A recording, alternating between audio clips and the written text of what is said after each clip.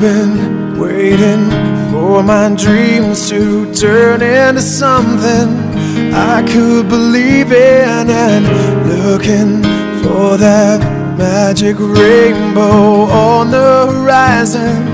I couldn't see it until I let go, gave into love, and watched all the bitterness burn. Now I'm coming alive,